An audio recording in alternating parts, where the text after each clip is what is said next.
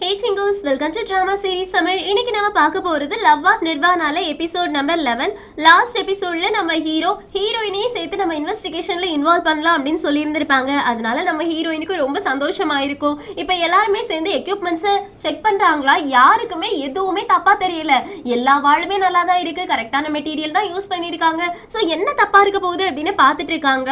அதே நேரத்தில் இந்த பக்கம் யானோட அசிஸ்டன்ஸ் பொதுமக்கள் எல்லார்கிட்டயுமே போயிட்டு ஏதாவது உங்களுக்கு இங்கே வித்தியாசமா நடந்த மாதிரி இருக்கா? அப்படி இப்படின்னு விசாரிக்க ஆரம்பிக்கிறாங்க. அவங்கள ஃபாலோ பண்ணிட்டு நம்ம ஹீரோட அசிஸ்டன்ட் போறாங்க. ஏதாவது துப்பு கிடைக்குமான்னு. இப்போ இன்வெஸ்டிகேஷன் எல்லாத்தையும் முடிச்சுட்டு ஹீரோ யான்லாம் வெளியில வரும்போது நம்ம ஹீரோயின் சின்ன குழந்தைங்க கூட உட்காந்து விளையாடிட்டு இருக்காங்களா? அதை பார்க்கும்போது நம்ம ஹீரோவுக்கு அப்படியே நெஞ்சலாம் லவ் அள்ளி வருது. ஆனா அதை வெளியில காட்டிக்க மாட்டேங்கிறாங்க.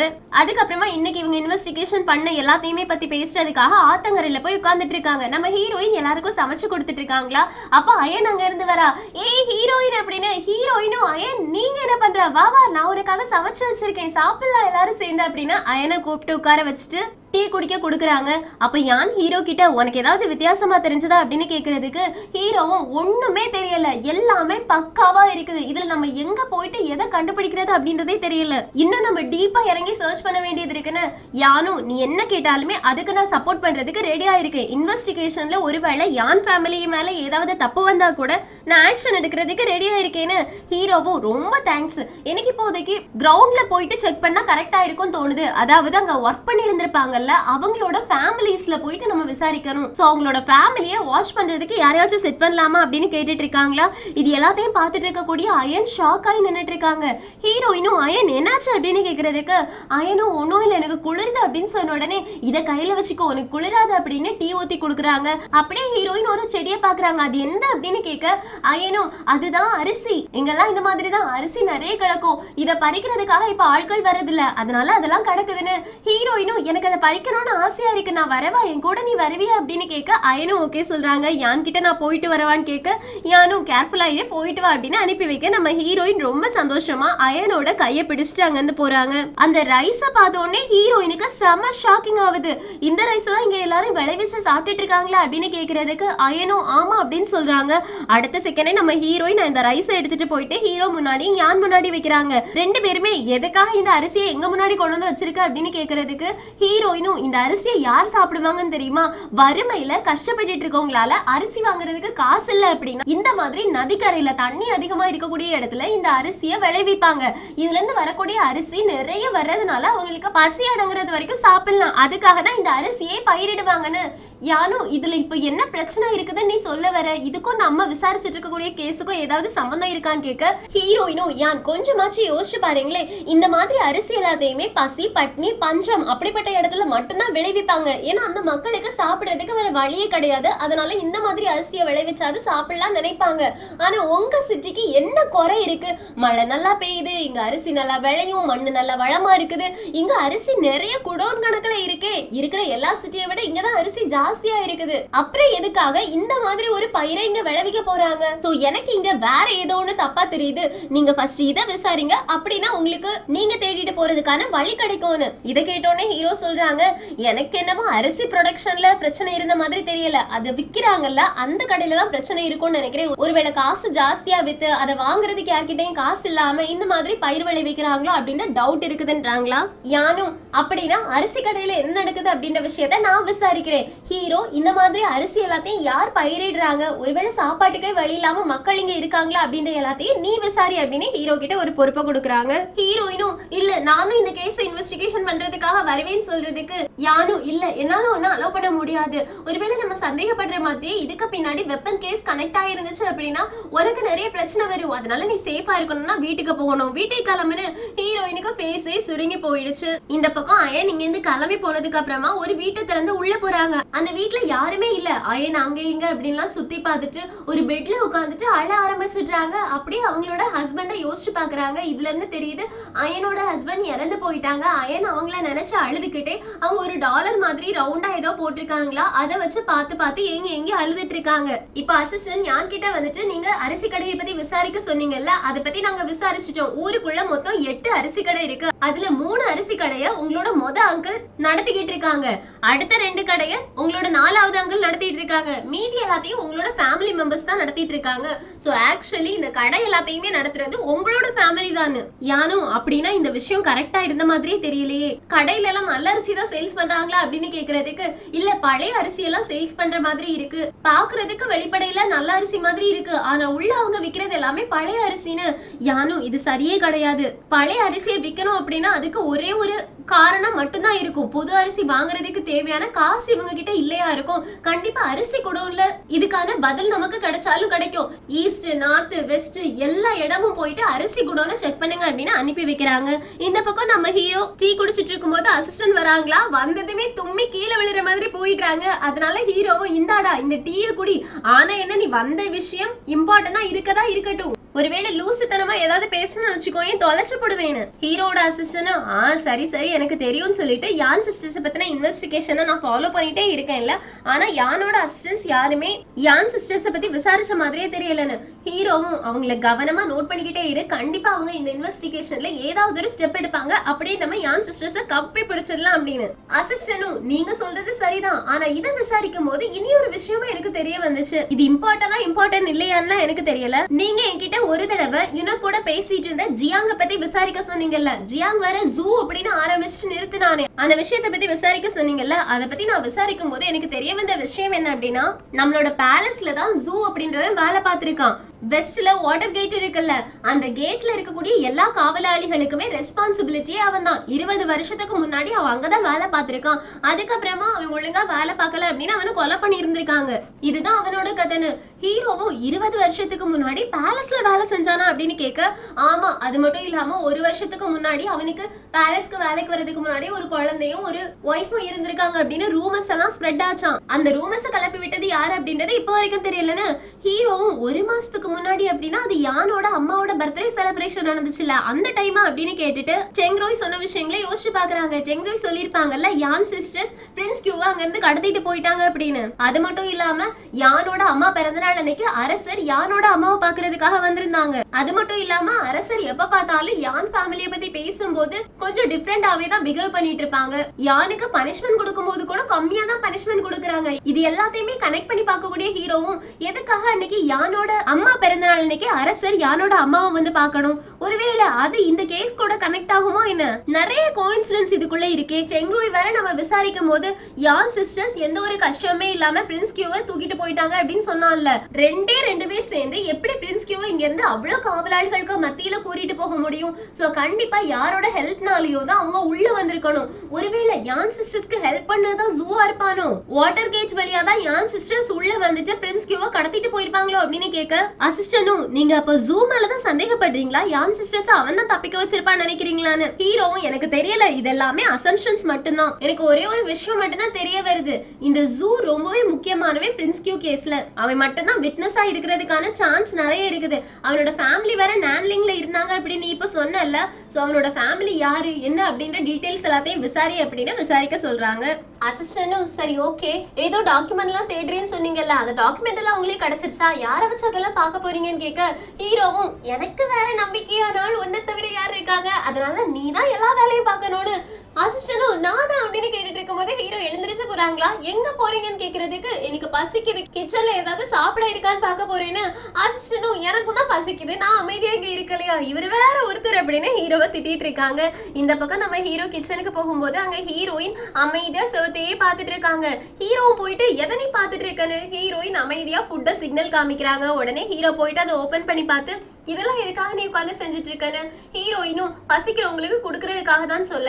ஹீரோவும் ஒன்னதான் எங்கேயும் போக கூடாதுன்னு சொல்லியிருக்கல யார் சொல்றது ஒண்ணும் சும்மா கிடையாது. இதுக்கு பின்னாடி யார் இருக்காங்கன்னு தெரியாம உன்னோட லைஃப் பண்ணி ரிஸ்க் எடுக்க முடியாதுன்னு. ஹீரோயினும் அப்படி ஒன்றும் எதுவுமே செய்யாம என்னால ஒரே இடத்துல இருந்துட்டு இருக்க முடியாதுன்னு சொல்லிட்டு ரைஸ் கேக்க எடுத்து வச்சுட்டு இருக்காங்களா ஹீரோவும் நீ என்ன பண்ணிருக்க அப்படின்னு கேட்க ஹீரோயின் டக்குனு ஹீரோவோட கையை பிடிச்சி ஹீரோவோட கையில ரைஸ் கேக்க வச்சு கொடுத்துட்டு இப்போ நீ என்னோட ரைஸ் கேக்க வாங்கி இருக்க அதனால நீ எனக்கு ஒரு விஷயத்த பண்ணியாகணும். பசியில எந்தெந்த மக்கள் இருக்காங்களோ அவங்க எல்லாரையுமே நீ கண்டுபிடிச்சாகணும்னு ஹீரோவும் நீ என்ன எனக்கு ஆர்டர் போட்டியான்னு கேட்க ஹீரோயினும் அதெல்லாம் எனக்கு தெரியாது. சீக்கிரமாவே பசியில இருக்கவங்கள கண்டுபிடி அப்படின்னு ஹீரோக்கே ஆர்டர் போட்டுடுறாங்க. சோ அடுத்த நாள் காலையில நம்ம ஹீரோ சர்ச் பண்றதுக்காக வெளியில இறங்கி போயிடுறாங்களா? அப்ப நம்ம ஹீரோயின் எனக்கு இன்னைக்கு வேற எந்த வேலையுமே கிடையாது. ஹீரோவும் வீட்டுல இருக்க மாட்டான். இந்த சான்ஸை யூஸ் பண்ணி அவன் ரூம்ல இருந்து என்னோட கிளே கேட்டை திருடிட வேண்டியதுதான் அப்படின்னு ஹீரோயினோட கிளே கேட்டை எடுக்கிறதுக்காக ஹீரோட ரூம் ஃபுல்லா சர்ச் பண்றாங்க. அந்த நேரத்துல ஒரு பவுச் மாட்டுது. அப்பாடா இதுக்குள்ளதான் என்னோட கிளே கேட் இருக்கணும் அப்படின்னு ஓப்பன் பண்ணி பாக்குறாங்க அது சுகர்னால செஞ்ச கேட் என்னோட கிளே கேட் இல்லையா அப்படின்னு பார்க்க ஹீரோ சொல்றாங்க. அது சுகர் கேட் உன்னோட கிளே கேட் கிடையாதுன்னு. ஹீரோயினும் நீ என்ன என்கிட்ட விளையாடுறியான்னு? அதுக்கு ஹீரோவும் நீ யாரோட ரூம்ல போயிட்டு அவனோட பொருள் ஒன்னையாவது டச் பண்றியா? என்னோடத மட்டும் எவ்வளவு தைரியமா வந்து கலைச்சு போட்டிருக்கேன்னு கேட்க ஹீரோயினும் அவன் கிட்ட ஒண்ணு என்னோட கிளே கேட் இல்ல. உன்கிட்ட தானே இருக்கு. அப்படின்னா ஒரு ரூம்ல தானே நான் சர்ச் பண்ண முடியும். எனக்கு என்னோட கிளே கேட் கொடுத்துறேன். நான் போயிடுறேனே அப்படின்றாங்க. ஹீரோவும் உனக்கு இப்ப கிளே கேட் வேணும் இல்லனா நீ சொன்ன வேலையை நான் முடிச்சிட்டேன். அதை பார்க்க வரியான்னு? ஹீரோயினும் என்ன வேலை அப்படின்னு கேட்டுட்டு ஹீரோ கூட போறாங்க. நம்ம ஹீரோ பசினால அகதிகளா மக்களை பிடிச்சு வச்சிருப்பாங்களே அந்த இடத்த கூட்டிட்டு போய் காட்டுறாங்களா? நம்ம ஹீரோயினுக்கு பார்த்த உடனே செம ஷாக்கிங்கா இருக்கும். ஏன்னா நிறைய காவலாளிகள் அந்த பசியில இருக்கவங்கள அடிச்சு போட்டுட்டு இருக்காங்க. இவங்க எல்லாரும் இங்க எப்படி வந்தாங்க? நீ எப்படி இவங்களை கண்டுபிடிச்சேன்னு? அதுக்கு ஹீரோவும் ஒருத்தன் சஸ்பீஷியஸா சுத்தி தெரிஞ்சிட்டு இருந்தான். அவனை அப்படியே ஃபாலோ பண்ணிட்டு வந்தேன் இங்க கண்டுபிடிச்சிட்டேன்னு. ஹீரோயினும் இவங்களை எதுக்காக அடைச்சு வச்சிருக்காங்கன்னு கேட்க ஹீரோவும் ஒருவேளை இவங்க வாயை மூடுறதுக்காகவா இருக்கலாம். இவங்க வெளியில வந்தாங்க அப்படின்னா நிறைய விஷயங்கள் வெளியில வந்துரும் அப்படின்றதுக்காகவும் இருக்கலாம்னு. ஹீரோயினும் யார் இவங்களை பிடிச்சு வச்சிருப்பான்னு நினைக்கிறேன்? ஒருவேளை யான் ஃபேமிலியான்னு கேட்க ஹீரோவும் சொல்றது கஷ்டம் தான் எதுவுமே தெரியாம நம்மளால சொல்ல முடியாதுன்னு. அந்த நேரத்துல உள்ள இருக்கக்கூடிய மக்கள் எல்லாருக்கும் சாப்பாடு கொடுக்கறதுக்காக ஒரு பெரிய டப்பால கஞ்சியை போட்டு கொண்டு வந்து கொடுத்துட்டு யாருக்கெல்லாம் வேணுமோ எடுத்து சாப்பிடுங்க அப்படின்னு சொல்றாங்க. எல்லாருமே அடிச்சு பிறண்டு போய் எடுத்து சாப்பிட போறாங்களா? அப்ப அடிக்க ஆரம்பிச்சிடுறானுங்க. ஒழுங்கா அமைதியா சாப்பிடுங்கடா ஒழுங்கா அமைதியா சாப்பிடுங்கடான்னு. இதை பார்க்கும்போது ஹீரோக்கும் ஹீரோயினுக்கும் என்ன பண்றதுனே தெரியல. அதுலயும் ஒரு சின்ன பையனை அடிக்க போகும்போது ஒரு அக்கா வந்துட்டு என் தம்பி அடிக்காதீங்க என்ன வேணா அடிச்சுக்கோங்க அப்படின்னு சொல்றாங்களா? அதை பார்த்த உடனே நம்ம ஹீரோவுக்கு பாஸ்ட் ஞாபகம் வருது. பாஸ்ட்ல நம்ம ஹீரோ ஃபுட் எடுத்துட்டு ஓடும்போது ஹீரோ கிட்ட இருந்து பிடுங்கி நிறைய பேர் சாப்பிட்டுருப்பாங்க. அப்போ ஹீரோட அக்கா வந்துட்டு உனக்கு உடம்புல எந்த அடியும் பண்ணலாம் நீ நல்லா தானே இருக்க அப்படின்னு அவங்களோட தம்பியை பத்தி அக்கறைப்பட்டு இருந்திருப்பாங்க அதே விஷயத்தை தான் இங்க பாக்குறாங்களா? அதனால கோவம் வந்து கைய முறுக்கிட்டு எவன் அடிக்கிறானோ அவனை அடிக்கலாம் அப்படின்னு கிளம்புறாங்க. ஆனா ஹீரோயினும் இல்ல இது கரெக்டான டைம் கிடையாது. உள்ள என்ன நடக்குது அப்படின்றது தெரிஞ்சுக்கணும் அப்படின்னா நம்ம உள்ள போகணும். அதுக்கான வழியை தேடலாம் அப்படின்னு ரெண்டு பேருமே பிச்சைக்காரங்க மாதிரி ட்ரெஸ் பண்ணிட்டு எங்களுக்கு சாப்பாடு கொடுங்க சாப்பாடு கொடுங்க அப்படின்னு ஒவ்வொரு இடமா போறாங்க. ஒருத்தரும் சாப்பாடு கொடுக்கலையா? அப்ப ஹீரோவை ஹீரோயின் திரும்பி பார்த்துட்டு உன் ஃபேஸ பார்த்தா பிச்சைக்காரக்கெல்லாம் தெரியலையே. இரு வந்துடுறேன் அப்படின்னு மண் எடுத்து ஹீரோவோட ஃபேஸ் ஃபுல்லா பூசி விட்டுட்டு இப்பதான் பக்காவான பிச்சைக்கார மாதிரி இருக்கவா அப்படின்னு சொல்லி அடுத்த கடையில போயிட்டு சாப்பாடு கேட்டுட்டு இருக்காங்க. அந்த நேரத்துல மக்கள் எல்லாத்தையும் அடைச்சு வச்சிருந்தானுங்கல்ல. அவனுங்க வந்து உங்களுக்கு சாப்பாடு வேணுமா? என் கூட வாங்க கொடுக்குறோன்னு ஹீரோக்கும் ஹீரோயினுக்கும் இதுதானே வேணும். அதனால ஓகேன்னு கூட போயிடுறாங்களா? அப்போ எல்லார் கூடயுமே இவங்களே அடைக்கிறாங்க. அப்புறம் நம்ம ஹீரோயின் ஆக்டிங் பண்ணணும்ல? அதுக்காக எங்களுக்கு நீங்க சாப்பாடு கொடுக்குறேன்னு சொன்னீங்க. அப்புறம் எதுக்காக இங்க அடைச்சு வச்சிருக்கீங்க? எங்களை விடுங்க விடுங்க அப்படின்னு ஆக்டிங்க போட. அவன் ஹீரோயின் போடுற ஆக்டிங் ஒரு ட்ராப் அப்படின்னு தெரியாம இன்னையில இருந்து நீங்க இங்க தான் இருக்கணும். என் பேச்ச மீறி எங்கேயாவது போனீங்க அப்படின்னா உங்களை கொலை பண்ணிடுவேன்னு. ஹீரோயின் இருந்தாலும் ஆக்டிங்க கண்டினியூ பண்ணலாம் அதனால உங்க யாரையுமே நான் சும்மா விட மாட்டேன். எனக்கு ஃப்ரீயா தான் சுத்தி தெரியணும். அதனால என்ன விடுங்க அப்படின்னு கேட்க போக அவன் அடிக்க வர நம்ம ஹீரோ போயிட்டு தடுத்து நிறுத்து ஹீரோயினும் உடனே எங்களை மன்னிச்சிருங்க நாங்க வாயை திறந்து பேச மாட்டோம். மன்னிச்சிருங்க மன்னிச்சிருங்க அப்படின்னு சொன்ன உடனே அவன் கிளம்பி போயிடுறான். நம்ம ஹீரோயினும் நீ என்னோட பிளானை சொதப்ப போறியா? அமைதியா இரு. அவங்க நம்மளோட ஆக்டிங்க நம்ப வேண்டாமான்னு. ஹீரோவும் அதுக்காக அவன் உன்னை அடிக்க வருவான். அப்படியே பார்த்துட்டு சும்மா இருக்க சொல்றியான்னு. ஹீரோயினும் இவன் வேற ஒருத்தன் அப்படின்னு சொல்லிட்டு அங்க இங்கன்னு சுத்தி பாக்குறாங்க எல்லாருமே பசியில துடிச்சு போயிருக்காங்க அப்படின்றது மட்டும் தெரியுது. எல்லாருமே மயக்க நிலைமையில தான் இருக்காங்க. நம்ம ஹீரோயின் உடனே உட்காந்துட்டு அழ ஆரம்பிக்கிறாங்க. ஐயோ இந்த நாட்டுல சாப்பாடு நல்லா கிடைக்கும்னு சொன்னாங்களே. நான் இங்க போனா பசியாவே இருக்க வேண்டாம்னு சொன்னாங்களே. அதை நம்பி தானே இங்க வந்தேன். ஆனா எனக்கு யாரும் சாப்பாடு போடலையே அப்படின்னு புலம்பும் போது யாராவது ஹீரோயின் கூட வந்து புலம்புவாங்க. அவங்க கிட்ட இருந்து உண்மையை தெரிஞ்சுக்கலாம். இங்க யார் இவங்களை கூட்டிட்டு வந்திருக்கிறது? எதுக்காக கூட்டிட்டு வந்திருக்காங்க? அப்படின்னு இன்ஃபர்மேஷனை கலெக்ட் பண்ணலாம் அப்படின்றதுக்காக தான் நம்ம ஹீரோயின் இந்த மாதிரி சீன் போடுறாங்க. ஆனா ஒரு மனுஷங்க கூட ஹீரோயினை திரும்பி கூட பார்க்கல. அப்ப நம்ம ஹீரோ அவங்க கிட்ட ஒரு பிரெட் துண்டு இருக்குமா? அதை எடுத்து காட்டுறாங்க. உடனே எல்லாரும் எனக்கு கூட எனக்கு கூட அப்படின்னு வராங்க. நம்ம ஹீரோ இந்த சான்ஸா யூஸ் பண்ணி யாரவங்க எல்லாரையுமே இங்க அடைச்சு வச்சிருக்குது? எதுக்காக அடைச்சு வச்சிருக்காங்க அப்படின்னு டீட்டெயில யார் சொல்றீங்களோ அவங்களுக்கு நான் இந்த பிரெட்டை கொடுப்பேன்னு சொன்ன உடனே ஒரு லேடி சொல்றாங்க எனக்கு தெரியும் எனக்கு தெரியும் அப்படின்னு ஹீரோவும் என்ன விஷயம்? அதை எனக்கு சொல்லுன்னு சொன்ன உடனே அவங்க சொல்றாங்க நான் ஒரு தலைவருக்கு கீழே வேலை பார்த்துட்டு இருந்தேன். எனக்கு உடம்பு சரியில்லாம வந்த உடனே என்ன வேலையில இருந்து தூக்கிட்டாங்க. அப்பத்துல இருந்து எனக்கு எங்க போய் சாப்பிடுறது அப்படின்றதே தெரியல. எனக்கு சாப்பாடே கிடைக்கல. அதனால எல்லார் கூடயுமே சேர்ந்து நாங்க நதிக்கரைக்கு பக்கத்துல ஒரு அரிசியை விளைவிச்சு அதை சாப்பிடலாம் அப்படின்னு முடிவு பண்ணோம். ஆனா ரெண்டு மூணு நாளைக்கு முன்னாடி ஏதோ அபிஷியல்ஸ் வெளியில இருந்து வராங்க பார்வையிட வராங்க அப்படின்றத கேள்விப்பட்டதுனால எங்க எல்லாரையுமே இப்ப அடைச்சு வச்சிருக்காங்க. அவங்க கண்டுபிடிச்சிட கூடாதுன்னு. ஹீரோவும் யார் உங்களை அடைச்சு வச்சதுன்னு கேக்குறதுக்கு ஜென்மன் அப்படின்னு சொல்லிடுறாங்க. சோ கவர்னர் தான் இந்த வேலையை செஞ்சிருக்காங்க அப்படின்றது தெரிஞ்சிருச்சு. ஹீரோக்கு கிடைக்க வேண்டிய ஆன்சர் கிடைச்சதுனால அந்த லேடிக்கு சாப்பாடு கொடுக்குறாங்க. அதுக்கப்புறமாவும் ஹீரோ பிச்சு பிடுங்குறாங்க. எங்களுக்கு கொடு கொடு கொடுன்னு. ஹீரோவும் என்கிட்ட சாப்பாடு இல்ல இருந்தது அந்த ஒண்ணு தான் சொன்னோடனே எல்லாரும் அமைதியா மறுபடியும் வயித்துல கை வச்சுட்டு புலம்பிட்டே படுக்க ஆரம்பிச்சிடுறாங்களா? நம்ம ஹீரோவுக்கு ரொம்ப கஷ்டமா இருக்குது. ஹீரோ சொல்றாங்க அவங்களுக்கு இருக்கக்கூடிய கஷ்டத்துக்கு அழுது புலம்புறதுக்கே அவங்க கிட்ட எனர்ஜி கிடையாது. அதனாலதான் நான் ஃபுட்டை காமிக்க வேண்டியதாயிடுச்சு. சரி நமக்கு தேவையான விஷயங்கள் நமக்கு கிடைச்சிருச்சு. அதனால இங்க இருந்து நம்ம கிளம்பி போகலான்னு. அப்போ ஹீரோ யாருக்கு சாப்பாடு கொடுத்தாங்களோ அந்த லேடி வயித்த பிடிச்சிட்டு புலம்ப ஆரம்பிச்சிடுறாங்க. ஹீரோயின் உடனே போயிட்டு செக் பண்றாங்களா அவங்களுக்கு உடம்பு சரியில்லை அப்படின்ற விஷயம் தெரிஞ்சது. ஹீரோ இவங்களுக்கு உடம்பு சரியில்லை இப்படியே நம்ம விட்டோம் அப்படின்னா அவங்க இறந்து போயிருவாங்க. நம்ம கூட இவங்களையும் கூட்டிட்டு போலாமான்னு அதுக்கு ஹீரோவும் நம்ம ரெண்டு பேரும் இங்கேருந்து எஸ்கேப் ஆகுறதே அவங்களுக்கு சந்தேகம் வர ஆரம்பிச்சிடும் இதுல மூணு பேர் சேர்ந்து தப்பிச்சு போனோம் அப்படின்னா நீ நினைச்சு பாரு. அப்புறமா நம்மளால உண்மையை கண்டுபிடிக்க முடியாதுன்னு ஹீரோயினும் அப்படின்னா ஓகே நான் இங்க இருக்கேன். நீ மட்டும் போன. ஹீரோவும் என்னால அப்படி ஒண்ணு இங்கே விட்டுட்டு போக முடியாதுன்னு சொல்ல ஹீரோயினும் ஏன்னா இவங்க கூட இருக்கணும்னு நினைக்கிறேன். இப்படியே இவங்கள உயிருக்கு போராட விட்டுட்டு என்னாலலாம் வந்தாங்க நிம்மதியாக இருக்க முடியாது. அதனால நீ போயிட்டு காவலாளிகள் எல்லாரையுமே கூட்டிட்டு வா. நான் இங்கே உனக்காக வெயிட் பண்ணிட்டு இருப்பேன்னு.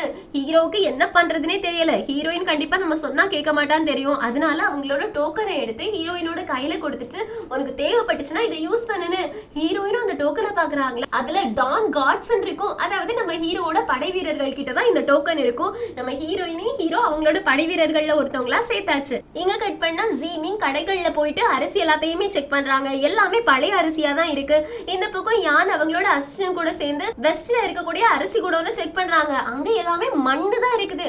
அரிசி மூட்டை மூட்டையா அடுக்கி வச்ச மாதிரி இருக்கு. ஆனா எல்லாத்துக்குள்ளயும் அரிசி இல்ல மண்ணு தான் இருக்குது. இது எல்லாத்தையும் இவங்க செக் பண்ணிட்டு இருக்கதோ ஒருத்தன் பாத்துட்டான் அதனால அவன் அங்க இருந்து எகிரி குதிச்சு ஓடி போறான் அவனோட தலைவன் கிட்ட சொல்றதுக்காக. இந்த பக்கம் ஹீரோட அசிஸ்டன்ட் ஹீரோ ரூம்ல இருந்து வெளியில வரும்போது ஹீரோ வராங்க.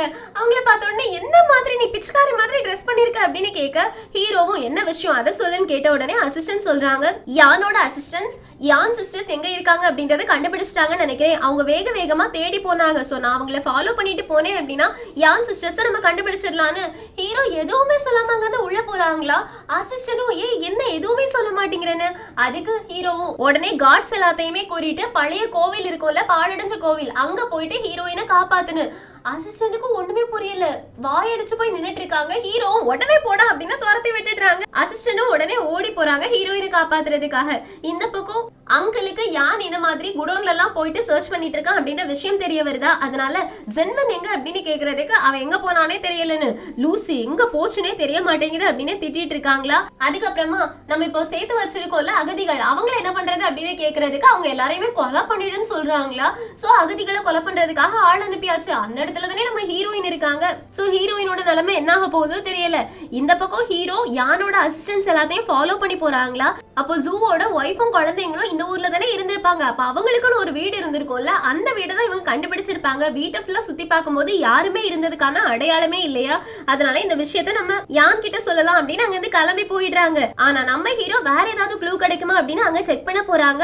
அப்போ ஒரு பொண்ணோட கால் தடம் இருக்குது. அந்த தடத்தை தன்னோட கர்ச்சிஃபாலே பிரிண்ட் எடுத்துக்கிறாங்க. அதை பிரிண்ட் எடுக்கும் போதே இவங்களுக்கு தெரிஞ்சிருச்சு மார்ஷல் ஆர்ட்ஸ் தெரியாத ஒரு பொண்ணு தான் இந்த இடத்துக்கு வந்திருக்கான்னு. சோ அது ஜூவோட ரிலேட்டிவா இருக்கிறதுக்கான நிறைய சான்சஸ் இருக்கு. இந்த பக்கம் யான் வீட்டுக்கு வரும்போது யானுக்கு நியூஸ் கிடைக்குது. ஹீரோட காட்ஸ் எல்லாருமே பழைய டெம்பிளுக்கு போயிருக்காங்கன்னு. அதனால என்ன நடக்குது? நம்ம உடனே போய் பார்க்கலாம் அப்படின்னு கிளம்பி போறாங்க. இந்த பக்கம் நம்ம ஹீரோயின் அந்த லேடிக்கு குடிக்கிறதுக்காக எல்லாம் தண்ணி கொடுத்து ஹெல்ப் பண்ணிட்டு இருக்காங்க. அப்போ வெளியில இருந்து முகமூடி போட்ட ஒரு ஆள் நிறைய பேரை கூட கூட்டிட்டு வந்து எல்லாருமே கொலை பண்ணுங்கன்னு சொல்லி ஒவ்வொருத்தரையா கொலை பண்ணிட்டு இருக்காங்க. நம்ம ஹீரோயின் அந்த லேடியை கூட்டிட்டு ஒரு டேபிளுக்கு அடியில போய் ஒளிஞ்சுக்கிறாங்க துணிக்கு பின்னாடி மறைஞ்சிருக்காங்க. அந்த லேடி வேற இரும்புறாங்களா? ஹீரோயினும் ஐயோ அமைதியாயிருங்க. நம்ம ரெண்டு பேரையுமே கொலை பண்ணிடுவாங்க அப்படின்னு அந்த லேடியை கஷ்டப்பட்டு அமைதியாக்கி வைக்கிறாங்க. இருந்தாலும் இந்த காட்ஸ் எல்லாருமே ஹீரோயினை கண்டுபிடிச்சிடுறாங்களா? ஸோ ஹீரோயின் இந்த லேடியை காப்பாற்றணும் அப்படின்றதுக்காக வெளியில போயிட்டு அவங்க கையில ஒரு பவுடர் இருக்கும். ஹீரோட ஷூல மாட்ட வைக்கிறதுக்காக ஒரு பவுடர் வச்சிருந்தாங்கல்ல அதே பவுடர் அதை தூக்கி காட்ஸ் மேல எறியறாங்க. காட்ஸ் எல்லாருமே அவளை கொல்லுங்க அப்படின்னு ஹீரோயினை கொலை பண்ண வரும்போது ஹீரோ அப்படின்னு கத்தி விட்டுடுறாங்க. ஸோ காட்ஸ் எல்லாருமே பின்னாடி திரும்பி பாக்குறாங்க என்ன நடந்துச்சு அப்படின்றதெல்லாம் தெரியல. நம்ம ஹீரோ ஹீரோயினை தேடி டெம்பிளுக்கு வந்துடுறாங்க. ஆனா ஹீரோயினை காணும். அப்ப ஹீரோ சொல்றாங்க அவ இங்க இல்ல அப்படின்னா ஏதாவது ஒரு க்ளோ விட்டுட்டு போயிருப்பா. அதை தேடலாம் அப்படின்னு ஒவ்வொரு இடமா தேடும் போது துணி கிழிஞ்சிருக்கிறத பாக்குறாங்க. அதை பார்த்த அடுத்த செகண்டே ஹீரோவுக்கு இங்க என்ன நடந்திருக்கும் அப்படின்றது கெஸ் ஆயிடுச்சு. ஹீரோயின் அவங்க மேல பொடிய போட்டுட்டு ஹீரோ அப்படின்னு சொன்னோடனே எல்லாரும் திரும்பி பார்த்திருப்பாங்க. ஹீரோ இல்லாத உடனே எங்களே நீ ஏமாத்த போறியான்னு? அதுக்கு ஹீரோயினும் நான் ஒன்னும் ஏமாத்தல. அவனோட காட்ல நான் ஒருத்தி அப்படின்னு அந்த டோக்கனை எடுத்து காமிச்சிருப்பாங்க. சோ இப்போ இவ்வளவு கொலை பண்ணணுமா வேண்டாமா அப்படின்னு யோசிக்கும் போது இவகிட்ட இந்த முத்திரை இருக்குன்னா கண்டிப்பா ஹீரோவுக்கு இந்த இடம் தெரிஞ்சிருக்கும். அதனால அவன் வர்றதுக்கு முன்னாடி ஃபர்ஸ்ட் இவளை நம்ம இழுத்துட்டு போயிடலாம் அப்படின்னு அங்க இருந்து பாதி பேரை கொலை பண்ணிருப்பாங்கல்ல மீதி எல்லாத்தையுமே இழுத்துட்டு போயிருப்பாங்க. இப்ப யாருமே இந்த இடத்துக்கு வந்தாச்சு. அங்க நிறைய பேர் இறந்து கிடக்கிறத பார்த்துட்டு ஹீரோவுமே லேட்டா தான் வந்திருக்கான்னு நினைக்கிறேன். அவனாலையுமே இங்க இருக்கவங்களை காப்பாத்த முடியல அப்படின்னா என்ன நடந்திருக்கும் அப்படின்றத நம்ம தெரிஞ்சே ஆகணும்னு இந்த பக்கம் ஹீரோட அசிஸ்டன்ட் ஹீரோ கிட்ட யான் வந்தாச்சு அப்படின்னு சொல்றாங்க. யான் வந்த உடனே ஹீரோ சொல்றாங்க இங்க நூறு பேர் கிட்ட இருந்திருப்பாங்க. ஆனா கொலைக்காரங்களுக்கு கொலை பண்றதுக்கான டைம் கரெக்டா கிடைக்காததுனால பாதி பேரை கொலை பண்ணிட்டு மீதி பேரை அவங்க கூடயே எடுத்துட்டு போயிருக்காங்க. அது மட்டும் இல்லாம கொஞ்சம் டைம் தான் இருந்ததுனால எவிடன்ஸ் எல்லாத்தையுமே அவங்களால அழிச்சிருக்க முடியாது. சோ நிறைய எவிடன்ஸ் அவங்க விட்டுட்டு போயிருப்பாங்க. நாம அந்த க்ளூவை மட்டும் கரெக்டா கண்டுபிடிச்சோம் அப்படின்னா அகதிகள் எங்க இருக்காங்க அப்படின்றத நம்மளால கண்டுபிடிக்க முடியும். முக்கியமா ஹீரோயின் க்ளூவை விடாம போகவே மாட்டான்னு. ஹீரோயினோட நேம கேட்ட யானும் ஹீரோயின் இங்க இருந்தாலாம் கேக்குறதுக்கு ஹீரோவும் ஆமா. ஆக்சுவலி நானும் ஹீரோயினும் சேர்ந்து தான் இந்த அகதிகள் இருக்கக்கூடிய இடத்துக்கே வந்தோம். இங்க என்ன நடந்துச்சு? அப்படின்னு கண்டுபிடிக்கிறதுக்காக நான் அவளை என் கூட கூறிட்டு வந்தேன்னு. இது கேட்ட உடனே யானுக்கு ரொம்ப கோவம் வந்துடும் உனக்கு எவ்வளவு தைரியம்டா இந்த மாதிரி ஒரு இடத்துக்கு அவளை நீ கொண்டு வந்துட்டு விட்டுட்டு போனியான்னு. ஹீரோவும் இப்போதைக்கு அவ எங்க இருக்கா அப்படின்றத நமக்கு தெரிஞ்சாகணும். ஒவ்வொரு நிமிஷமும் நம்ம வேஸ்ட் பண்ற டைம் அவளோட உயிருக்கு ஆபத்தாயிரும். அதனால உடனே அவளை கண்டுபிடிக்கலாம்னு சொல்றாங்க. சோ ஹீரோயினை காப்பாத்துறதுக்காக யான் ஓடி போறாங்க? அந்த நேரத்துல தான் நம்ம ஹீரோ கீழே கிடக்கக்கூடிய பவுடரை நோட் பண்றாங்க. அந்த பவுடரை ஃபாலோ பண்ணிட்டு போனா ஒரு பாக்ஸ் இருக்கும். அந்த பாக்ஸ் ஓபன் பண்ணி பார்த்தா பவுச் இருக்கும். அதை பார்த்த உடனே ஹீரோக்கு தெரிஞ்சிருச்சு. ஹீரோயின் க்ளூவை விட்டுட்டு போயிருக்காங்க அதனால அசிஸ்டன்ட் உடனே வினிகர் எடுத்துட்டு வா அப்படின்னு சொல்றாங்களா? யாரும் திரும்பி பாக்குறாங்க இவன் எதுக்காக வினிகர் கேக்குறான்னு. இந்த பக்கம் நம்ம ஹீரோயினை பிடிச்சிட்டு வந்திருப்பாங்கல்ல? இவ்வளவு நேரம் ஆகியும் இவளை கண்டுபிடிக்கிறதுக்காக யாரும் வரல அப்படின்னா இவன் ஒன்றும் அந்த அளவு இம்பார்ட்டனா இருக்காது. அவளை கொலை பண்ணுங்க அப்படின்னு நம்ம ஹீரோயின் கையில ஒரு கத்தியை வச்சு எப்படியாவது எஸ்கேப் ஆயிடணும் அப்படின்னு நூலை அறுத்துக்கிட்டு இருப்பாங்க. கொலை பண்றதுக்காக வந்தவே கத்தியை எடுத்து வீசினோடனே நம்ம ஹீரோயின் கஷ்டப்பட்டு அவங்க கிட்ட இருந்து எஸ்கேப் ஆகி அவன் கூடயே சண்டை போடுவாங்க. அப்போ இந்த முகமூடி போட்டிருக்கான்ல அவன் ஹீரோயினோட கழுத்துல கத்தி வச்சிருவான். அவன் கேக்குறான் நீ ஒரு வேலைக்காரி. உன்னை காப்பாத்துறதுக்காக எதுக்காக ஹீரோ வர போறான் உனக்கு? ஓவர் தைரியம் தானே. ஹீரோவும் ஏன் வரக்கூடாது? நான் அவளை காப்பாத்துறதுக்காக வந்துட்டேன் அப்படின்னு அங்க இருக்கிற எல்லார் கூடயுமே சண்டை போடுறாங்க. அப்போ இந்த முகமூடிக்காரன் ஹீரோயினை டக்குன்னு பிடிச்சு ஒரு கிணத்துக்குள்ளாடி தள்ளி விட்டுடுறான். சோ ஹீரோயினை காப்பாத்துறதுக்காக ஹீரோ உள்ள குதிக்கிறாங்க. அப்ப அவங்களுக்கு முதுகுல எல்லாம் அடிபடுது. நம்ம ஹீரோயினும் நான் விட்டுட்டு வந்த எல்லா குழுவையுமே நீ பாத்தியான்னு கேட்க ஹீரோவும் ஆமா அதனாலதான் என்னால உன்னை கண்டுபிடிக்க முடிஞ்சது. அசிஸ்டன்ட் என்ன மேல தூக்கு அப்படின்னு சொல்ல அசிஸ்டன்ட் மேல தூக்குறாங்க. இந்த பக்கம் முகமூடி போட்டிருந்தான்ல அவன் அவனோட முகம் முகமூடியை கழத்திடுறான் நானும் யான் ஃபேமிலிக்காக தான் வேலை செய்யறேன் ஒருவேளை நான் இப்ப மாட்டிட்டேன் அப்படின்னா நம்மளோட ஃபேமிலி மொத்தமே மாட்டிடும் அதனால என்ன காப்பாத்து அப்படின்னு சொல்றதுக்குள்ளாடி யானோட அசிஸ்டன்ட் அவனோட மூஞ்சிலேயே காலால ஒரு மிதி கொடுத்து அவனை சைலன்ஸ் ஆக்கிடுறாங்க.